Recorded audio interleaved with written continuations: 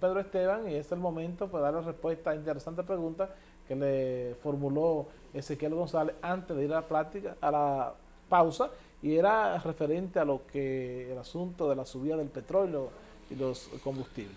Eh, la República Dominicana culminó el año 2017 con comprando un barril de petróleo alrededor de los 60 dólares. El presupuesto 2018 contempla un, precio del barril de petróleo que no exceda los 65 dólares. Sin embargo, vemos que la el precio de los combustibles en los últimos tres meses ha, reiterativamente ha ido subiendo y de, Reyes fue la última subida que nos dio el gobierno eh, la semana pasada y aumentó entre 2 y 6, y 6 pesos el galón de combustible dependiendo del tipo que era. Y hoy llega ya prácticamente cerca de 230 pesos la, el galón de gasolina premium. Me imagino que por ahí es donde va la pregunta.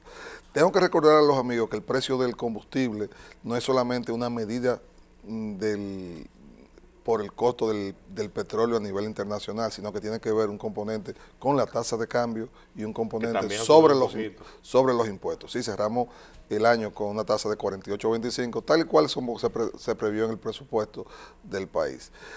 Yo pienso que uno de los retos con la reforma tributaria es entender de cómo, a pesar de que el gobierno, uno de sus brazos recaudatorios es los impuestos a los combustibles, cómo puede eh, redistribuir todos estos, estos ingresos y no cargarle tanto al transporte, ya que el transporte es una medida demasiado, eh, un indicador demasiado contundente en cuanto a la eficiencia del sistema económico y como decía anteriormente, no podemos seguir exportando impuestos e ineficiencia.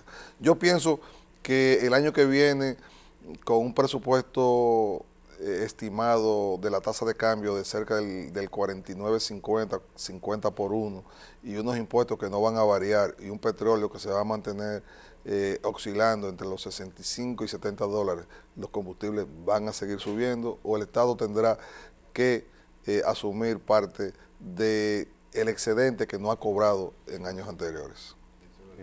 Bueno, está Ezequiel la respuesta a tu pregunta que y que inquieta a todos los dominicanos porque esa revisión toda la semana, Pedro Esteban. Y, que una revisión que se hace como, eso es un impuesto semanal. no, aquel eslogan que lo popularizó el PRD cuando era gobierno, de que si sube, sube, y baja, baja, además si sube, sube y si baja, no, no baja. si sube son cinco pesos. Señores, baja 25 cheles. Ha, llegado un momento importante de la entrevista y es que sabemos que nuestro amigo Pedro, además de ser un economista brillante, él también ha incursionado en un movimiento, vamos a decir, político, social, eh, muy interesante. Cívico. Cívico. Esa yo creo que es la palabra que más le, le cabe. Y quisiéramos preguntarle ¿Cómo está el movimiento? ¿Cuáles planes tiene? Bien, el movimiento Acción Ciudadana es un movimiento que está bien en su etapa de crecimiento. Seguimos en nuestra, eh, sin querer saltarnos etapas y estamos tratando de engrosar las filas de dirigentes comunitarios, sociales, empresariales, comerciales, que vengan a aportar y que tengan una visión de tener una mejor ciudadanía. Para ello, el año 2018 va a comenzar con, una actividad que denota nuestra pluralidad. Eh, el día 30 de, el martes 30 de, enero, tenemos a, un, a una representante de la Cámara de Diputados, que de verdad le podemos decir diputada, que es a la licenciada Farideh Raful, que viene a, a plantearnos eh, sus ideas en torno a cómo entiende que este país debe formar sus ciudadanos.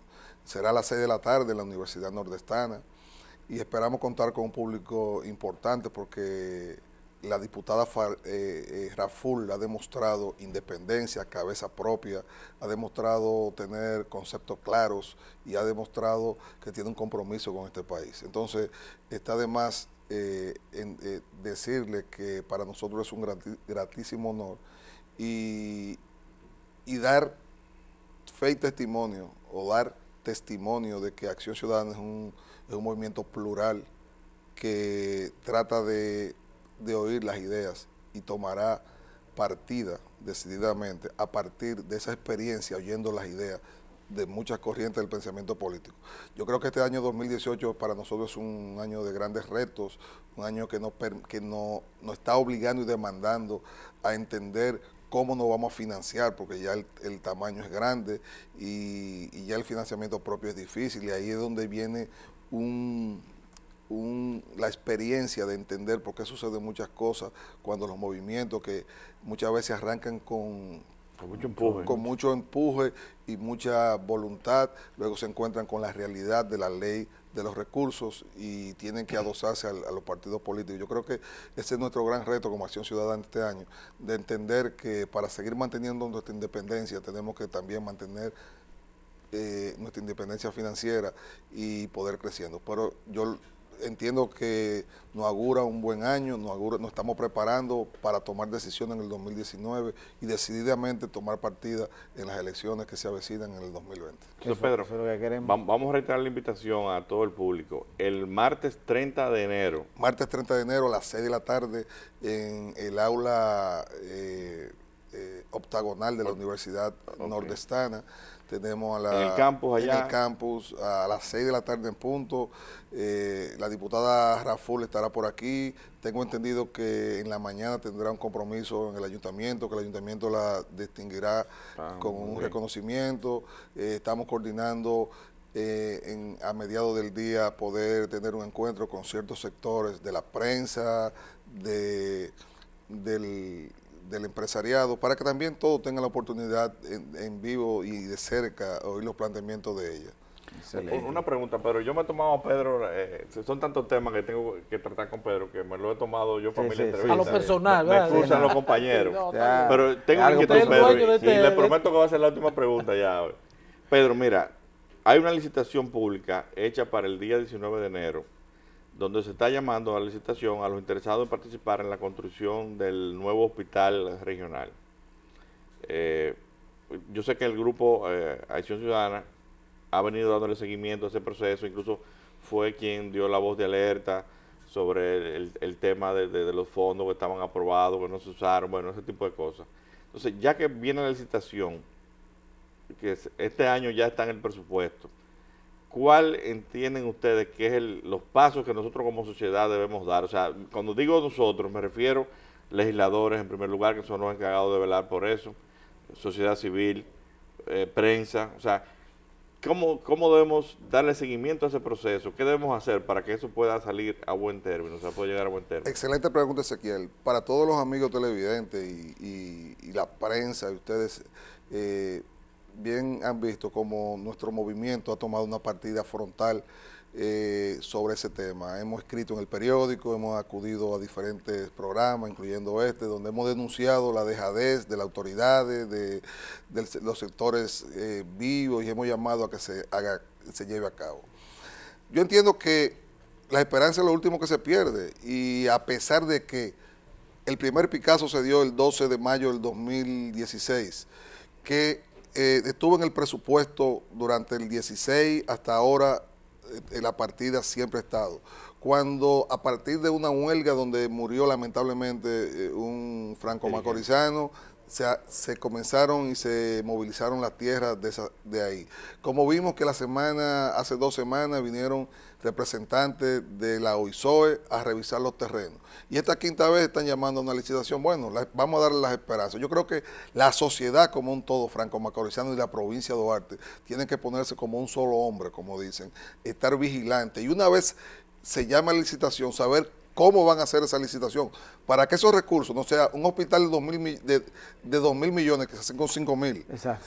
Queremos un hospital de 2 mil millones que se haga con 2 mil millones, no un hospital de 2 mil millones que se haga con, con 18 mil millones, como estamos acostumbrados. O sea, nosotros queremos que cada peso se invierta correctamente. Yo pienso que el primer paso es la licitación, saber los términos de referencia de la licitación ya se hicieron públicos en los medios de circulación nacional. Vamos a ver las empresas que van a concursar. Vamos a darle seguimiento, que, se, haga en tiempo no se y en de empresa la semana, la semana antes. Exactamente, sí. Y saber quiénes la van a hacer y quiénes la van a hacer. Saber... Una empresa con un capital de 20 mil pesos. Sí. Exactamente. Entonces, yo pienso que todos estamos abocados.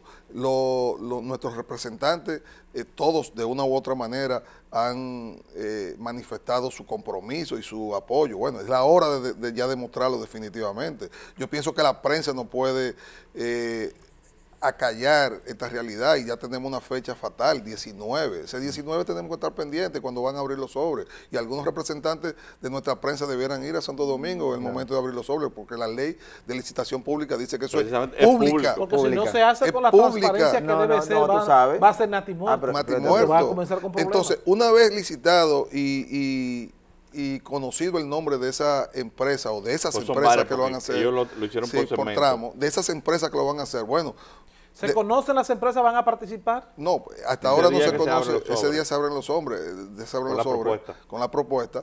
Eh, no conozco si la ley de licitación pública establece que en una fecha si da a conocer las empresas que participan.